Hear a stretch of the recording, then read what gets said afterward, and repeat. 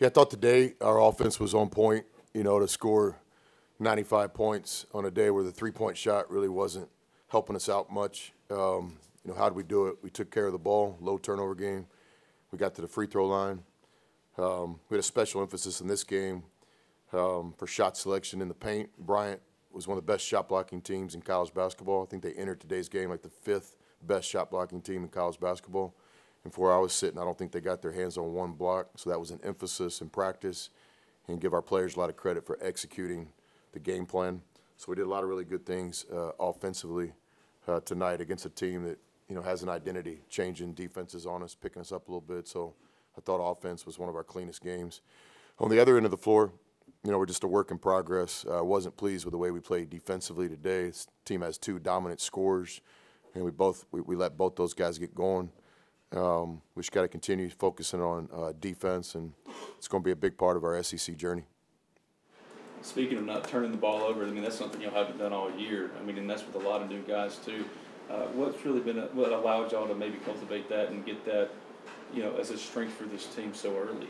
It starts in recruiting, and uh, you know, we, each system, each coach, each program, each organization tries to recruit to their to their ideals. And so one of the things um, of many is we um, we really think the game can be played um, in the best way possible if you take care of the ball. You know, I'm not a big fan of coming down and just handing the other team the ball. So certainly when you start thinking about NCAA tournament time, when you're trying to win six games in three weekends, you can't always rely on shooting um, or, or, or, this kind of execution. But what you can rely on is just a commitment to take care of the ball.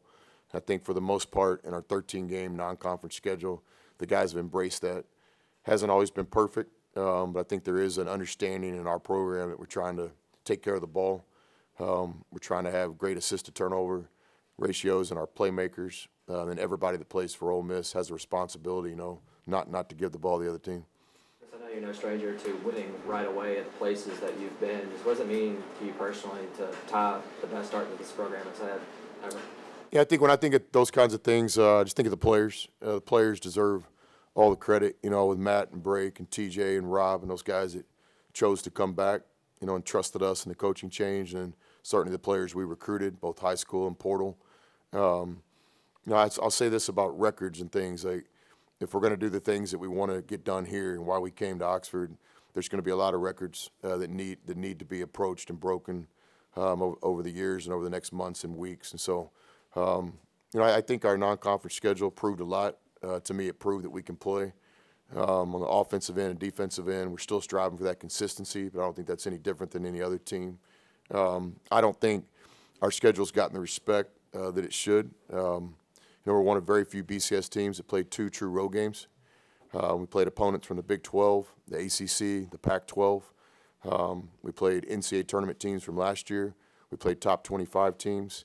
Um, so I think the schedule challenged us in a lot of ways. And um, I think for the most part, we've answered the call. So to have 13 wins going into SEC play uh, doesn't mean anything um, on Saturday when the ball goes up. But I think just to take a quick second and reflect, uh, a lot of work went into these wins um, in November and December, and so I think the players deserve all the credit. Congratulations on your milestone undefeated uh, non-conference schedule. I want to ask you about uh, your time under Bobby Knight um, and kind of tampering the expectations and not getting ahead of yourself and taking one game at a time. What did you learn under Coach and how are you using that now at Ole Miss and uh, your previous stops as well? Yeah, I learned a lot from Coach. Obviously, it's like getting a PhD in coaching every day, and um, was with him almost every day for multiple hours. You know, for eight years. Uh, and then after Coach retired, certainly continued a relationship. Uh, when I think of Coach, I also think of Pat Knight. Um, I have no better friend, mentor in basketball and in life than Pat. So, so many things from Coach. But one thing we did learn from Coach, um, including other coaches I've worked for, you know, is the biggest game is the next game on the schedule, period.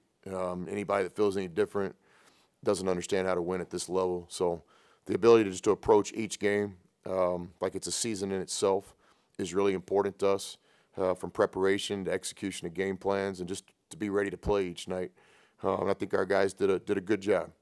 Um, you know, I don't know if I'm going to say great job. I, I think we're we're off to a good start. We're starting to embrace um, the idea that you know what we do is more important than the opponent, and I, I think um, you know we're in a good we're a good spot right now. And, Um, we'll kind of see. SEC is obviously going to bring a whole other level of challenge, um, but I, I think we have a chance to be competitive, and I don't think anybody would, would disagree with that.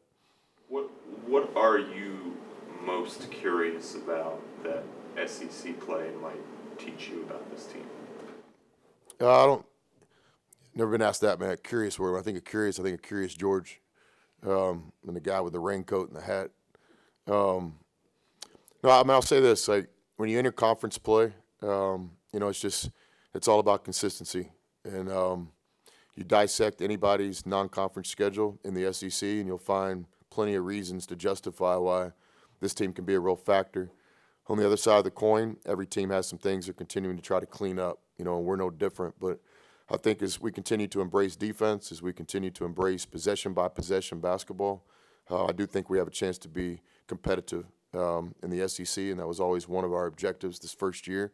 Um, you know, I, I, think uh, there's there's a way to win every game on the schedule uh, that's remaining, and uh, we'll do our best to put our players in a position to to have, have a chance to do that. What's the early evaluation of Tennessee and just opening in Knoxville? Just what are your thoughts on that and uh, previewing that game away?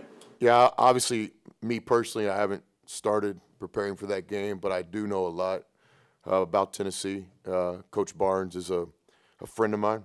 He's, he's a mentor of mine. Um, so I always follow his teams. This year's no different. Um, what we know about Tennessee is we know they have an identity, a culture. It's based on defense and rebounding. It's based on toughness, both physical and also mental. Um, Tennessee is one of those teams that's not going to beat themselves.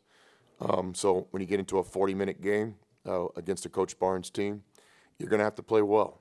And I know that's like Captain Obvious, but that's what it comes down to. We'll have X amount of possessions in the game, and we'll have to hold our own um, in many of those possessions.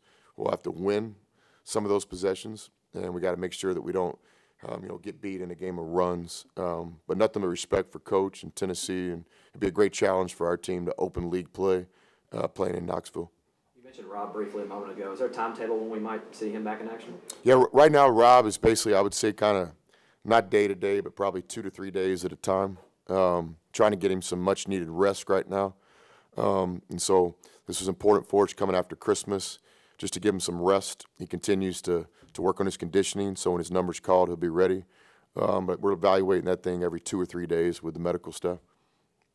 You've been a lot of different places and instilled both culture and system. How do you feel like this team stacks up with some of your other stops as far as first year teams with culture and system?